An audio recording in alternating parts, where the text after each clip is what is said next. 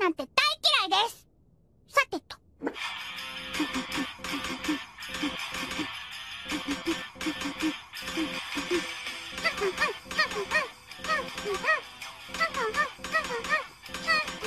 日曜嫌いなのか？Arr, avast ye, scurvy dog!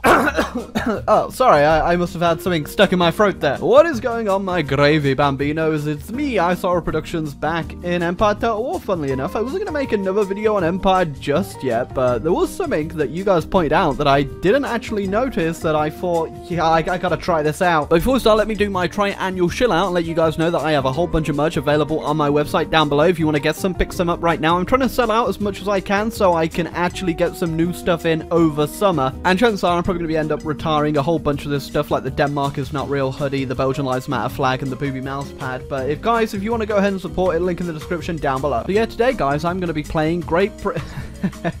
I'm not playing Great Britain. At least not today, because today we gotta do something a little bit special. Yar, matey! I have no idea how they did that so long. My, my throat hurts just from doing it twice now. So, funnily enough, we're actually not much of a nation. We're just a couple of guys on a couple of islands, drinking a lot and having a whole bunch of fun. But we're gonna change that, because in Empire Total War we have three theaters to pick from. We've got America, we've got Europe, and we have India. So we have so much room to do so much pirating, I don't even know where to begin. Imagine though, we should probably get all of our navies, which are scattered around the whole world right now, and bring them back home. Because we could just use them for raiding, but I kind of want to raid on a grander scale. First off, we kind of got to understand where we are in the world. We own a few little provinces, a few islands, and we don't really have much in the way of goods anything by the looks. Oh no, my bad. Uh, we do have Captain Jack Sparrow, which makes me think this mod's going to get a cease and desist very soon. Oh, that's pretty cool. We can actually get some historical pirate ships built, which is,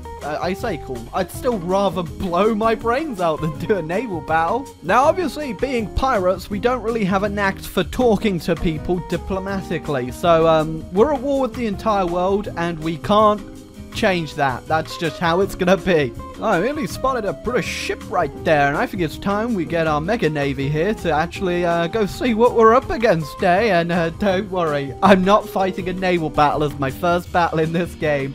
Go, go jump off a cliff. Oh, that's the thing. Uh, apparently, we're just too stupid to do any research, which I guess kind of makes sense, doesn't it? A ragtag bunch of guys who are ready to take over the world is just a whole bunch of naked guys and Johnny Depp. Fairly certain there's a Tim Burton movie about that. Oh, well, I did the uh, demand surrender on the French and they actually accepted, which means we've now grown. That's right, boys. We're, we're gonna be big one day. Oh, so I can't do diplomacy, but people can still do diplomacy with me, and Sweden wants a peace treaty for 5.1k? Uh, no. Ah, it's so easy to take these islands. There's literally nothing to stop me but a few pikemen and some armed citizens. My infantry, quite literally, is just a bunch of naked guys that don't even have shoes, just a pair of tattered rags for trousers and some flintlock muskets. That's all I need, baby. At least uh, I didn't bring pikes to this battle. That's uh, that's definitely a positive. Jesus, I keep knocking these pikemen out of the damn stadium, but they just keep coming back. Although, uh, I, I don't think they'll be coming back from this one. Oh, my Captain Jack Sparrow unit, though, actually have some clothes, and they look semi-decent. They're, they're not exactly the most disciplined guys, or, you know, the best dressed, or any sort of, like, military-esque. They're just a bunch of guys wearing the exact same outfit and shooting guns, which, you know, is all I could ask for. Oh my god. Is is that supposed to be Johnny Depp? oh my god, so bad. I'm sorry, who turns up to the battle with a flute? Well, I think it's safe to say that even though we lack clothes on our back, we definitely have way bigger balls than the Dutch do.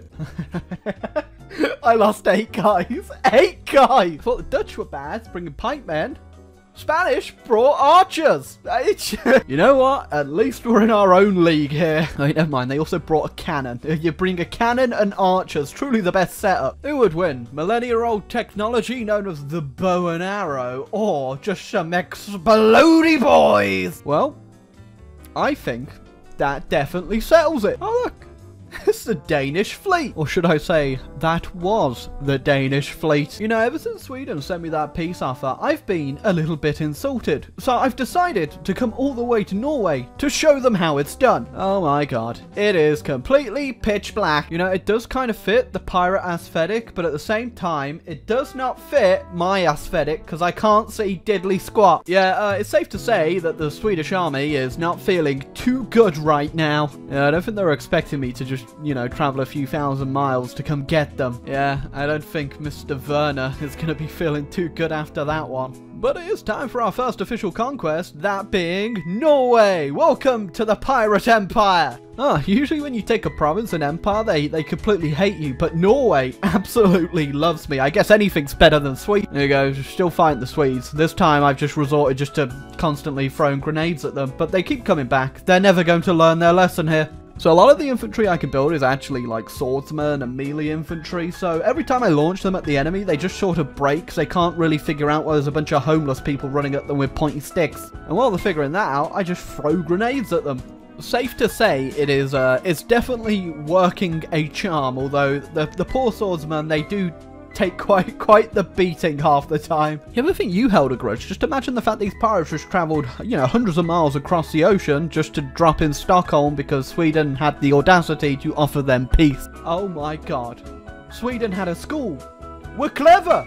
We can research! Kind of loses the pirate charm though, not being a brainless idiot running around with a sword. So we took out Sweden in Finland, which was an easy feat, and uh, as soon as we did that, the Russians moved in up here in uh, in the north, which is isn't that great. Yeah, you just gotta remember, I am at war with quite literally everyone, so as soon as I take one province, uh, some Danish drummers appear out of nowhere and try to stick it in my rectum. But don't worry, we'll make it even for them. Although it isn't that great that in Empire you don't actually have the pillage uh, option when you take over settlements. You can burn them down, but it's just not the same. Okay, yeah, hold on a quick second there. Why does the Iroquois Confederacy own Iceland? Can someone explain? You know, I thought that was the weirdest thing, but the Dutch just went full Napoleon, took Paris, and a little bit of Germany. Excuse me? Okay.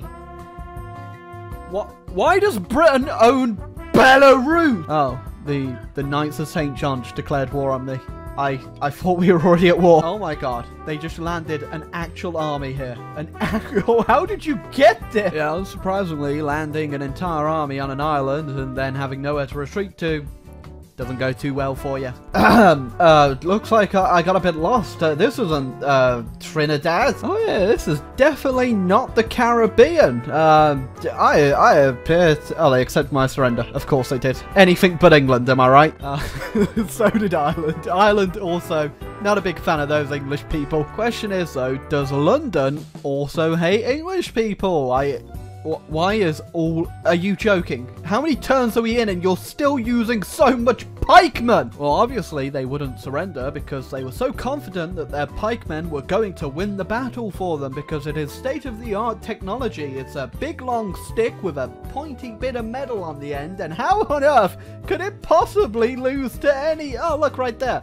it, it's dead. Oh, I, I can kind of technically consider that a surrender, I suppose. Oh, well, unlike Ireland and Scotland, who loved me, uh, the, the lower population actually hates me a little here, but the, the higher-ups still loving me. So once you beat a major power in Europe, they actually get rid of all their colonies too. You don't get them, but they break free. But because uh, Britain owns, you know, the Baltic and Belarus, it means it doesn't count as an annexation, and we actually have to go there and take them out. And uh, yeah, I went bankrupt to do it. But it does mean if we go over to America now, yep, there you go. The USA is free, and they're they're at war with us, so it doesn't matter, does it? Although taking everything in the Americas is so easy because everything just surrenders to my superior pirate might. You know what, Portugal has a very interesting strategy to have your general as a cannon. Uh, one that doesn't move at that. Oh my, this is the worst thing ever. Not only is it dark, it's foggy, and it's raining. Are you kidding me? Ah, a pirate's life for me. Yeah, because when I sort of just tipped the balance of Europe quite a little bit. I wasn't expecting the Dutch to just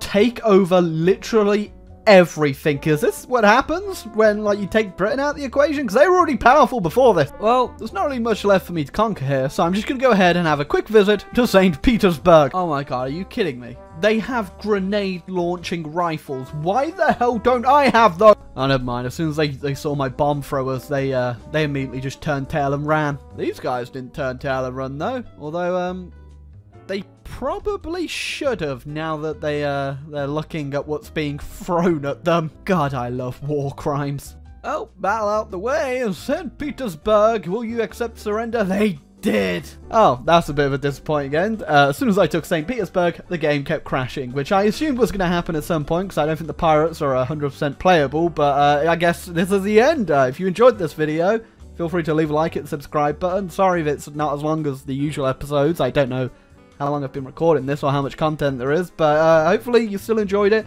Uh, leave me any more nations you want to see me play or any more mods for Empire Total War or any other Total Wars for that matter. But uh, I guess until next time, guys, uh, shiver me timbers.